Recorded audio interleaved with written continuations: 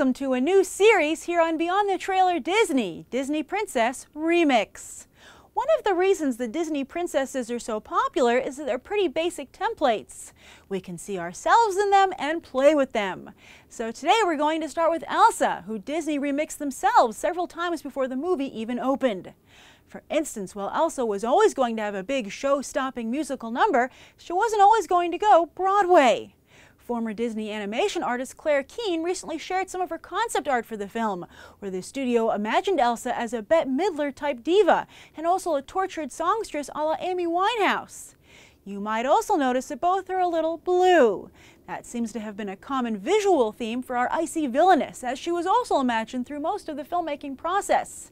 And this snow sprite look, it was also meant to carry over to Elsa's pre-Ice Queen look. Now you'll notice that all of these designs have a lot of spunk. After all, the cold is very brisk. But Elsa, thanks to the song Let It Go, found herself remixed yet again, this time into a sympathetic young woman with a secret that terrified her, yet would eventually transform her. Yes, a remix is a huge part of Elsa's identity, as she undergoes the biggest transformation of any Disney princess to date. So now let's take a look at what Elsa's fans have done with her. By far and away one of the most popular things to do with Elsa is hook her up with Jack Frost from DreamWorks Animation's Rise of the Guardians. Jack made quite an impression with animation fans himself, but alas, nothing on the same level as Elsa, despite his own dark storyline. Maybe he needed a good song. Speaking of guys, fans are also eager to gender bend Arendelle's queen, or is that king? Why should girls get to have all the fun? And with today's guys being just as image conscious as women, they're also eager for their own transformations. And while there's that distinct Disney look, artist Claire Hummel recently added Elsa to her series of Disney princesses wearing historically accurate dresses. Hummel painstakingly researched the fashions of the 1830s and 1840s when Hans Christian Andersen wrote the original story, as well as Scandinavian royalty. So now let's think about how we'd like to remix Elsa. Here are the basics.